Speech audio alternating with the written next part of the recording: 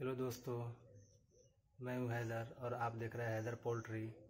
आज मैं आपको अपना पोल्ट्री फार्म दिखाने वाला हूँ। आप मेरे चैनल पर पहली बार आए हैं तो आप मेरे चैनल को सब्सक्राइब करें। फाइनली मैं पहुँच चुका हूँ अपने पोल्ट्री फार्म पे। चलिए मैं आपको अपना पोल्ट्री फार्म दिखा रहा हूँ।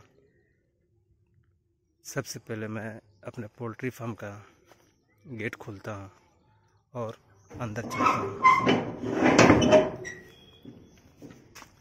ये देखिए, ये मेरा पोल्ट्री फार्म है। इसमें मैंने दो गेट लगाए रखे हैं। एक यहाँ पे है और एक लास्ट वाले कॉर्नर पे है। ये जो मेरा पोल्ट्री फार्म है, इसकी लंबाई 125 फीट है और पोल्ट्री फार्म की चौड़ाई मैंने 20 फीट ही रखा है। आप 20 से 30 फीट तक इसकी चौड़ाई रख सकते हैं। इससे ज़्यादा चौड़ाई आप नहीं रख सकते, क्योंकि अगर आप 20 से 30 से ज़्यादा अगर बढ़ाते हैं तो इसमें वेंटिलेशन का प्रॉब्लम हो सकता है। पोल्ट्री फार्म में तरह तरह की बीमारियाँ उत्पन्न होगी, जिससे आप परेशान रहेंगे। इसलिए मैं आपको रिकमेंड करूँगा कि आप जो है ना,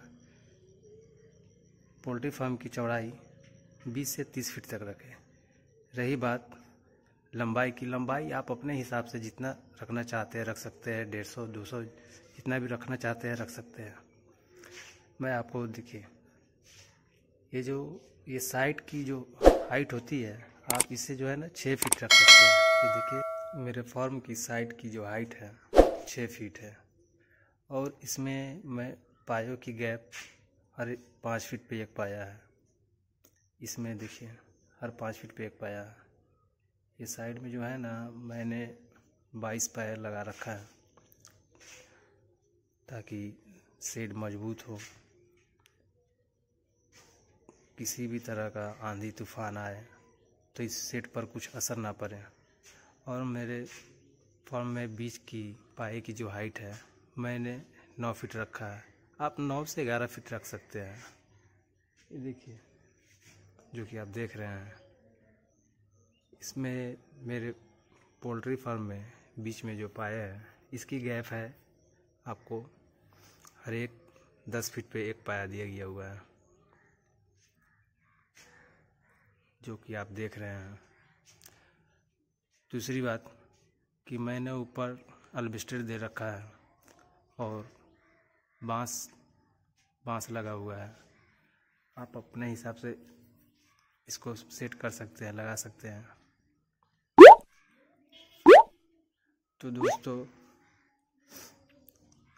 ये देखिए लास्ट में जो है ना, मैंने एक यहाँ पर भी गेट लगा रखा है।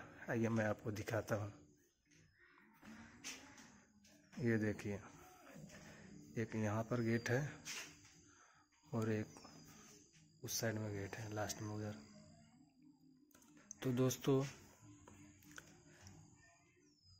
ये मेरा पोल्ट्री फार्म है, जो कि मैं आपको दिखाने की कोशिश कर रहा हूँ। आप देख पा रहे होंगे। दोस्तों, पोल्ट्री फार्म बनाए तो मज़बूत बनाए इसलिए और पोल्ट्री फार्म की दिशा जो है ना, आप पूरब से पश्चिम ही रखें। इसलिए पूरब से पश्चिम रखा जाता है ताकि जब भी सूरज की किरणें आए तो सेट के ऊपर ऊपर से ही निकल जाए, ताकि सेट के अंदर धूप की कोई असर ना पड़े। तो दोस्तों, मेरा पोल्ट्री फार्म कैसा लगा? आप कमेंट करके ज़रूर बताएँ। आप मेरे चैनल पर पहली बार आए हैं तो आप मेरे चैनल को सब्सक्राइब करें और आप लोग सपोर्ट करें। मैं आपसे फिर नेक्स्ट वीडियो में मिलता हूँ। तब तक के लिए गुड बाय। Thank you.